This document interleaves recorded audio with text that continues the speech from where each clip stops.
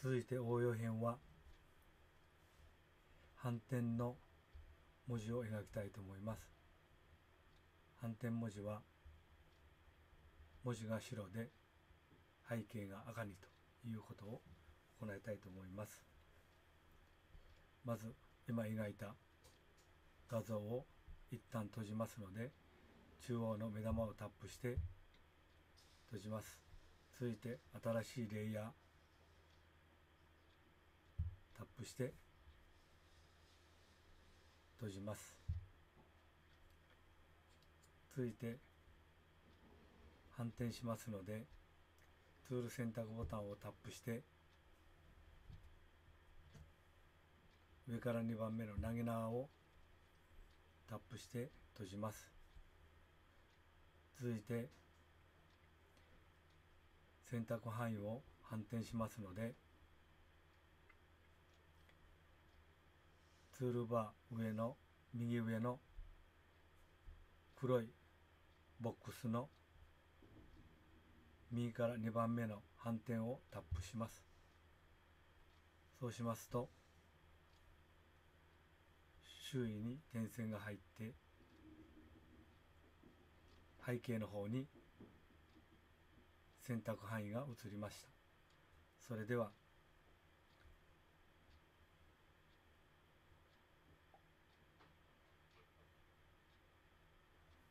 塗りつぶしを行いたいと思いますのでツール選択ボタンをタップして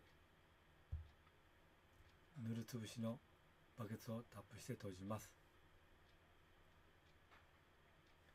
続いて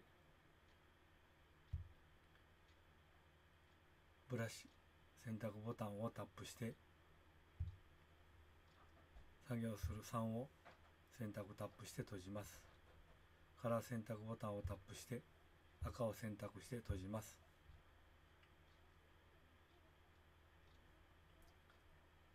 それでは文字の内側の背景にタップします。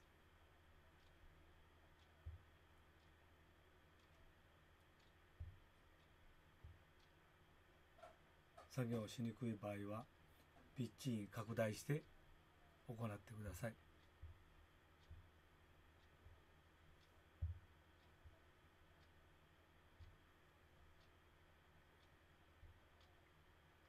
このようにして反転しますと白文字の背景に赤が入ります。このようにして画像がいろんな色で仕上がります。是非行ってみてください。それでは終わります。